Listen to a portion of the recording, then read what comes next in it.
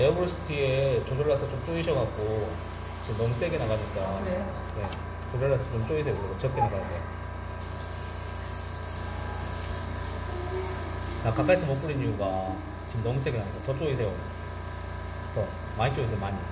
어느 쪽으로 돌려야 조이는 거죠? 감아지는, 감아지는 걸로 풀리지 않게 네. 팍팍 돌리셔. 그거 당겨보세요 한번. 네. 트리거를 한번 당겨보고 어, 네, 그럼 알 수가 있으니까. 그래야 이제 살살 뿌릴 수가 있으니까. 네. 어, 잘 뿌리고 있었는데.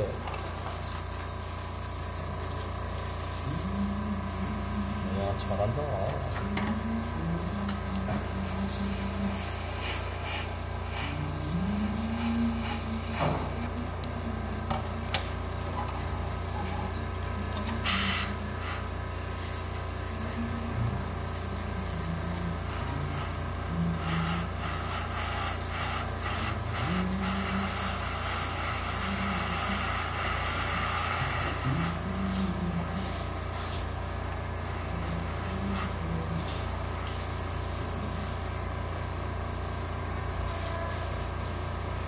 Mm.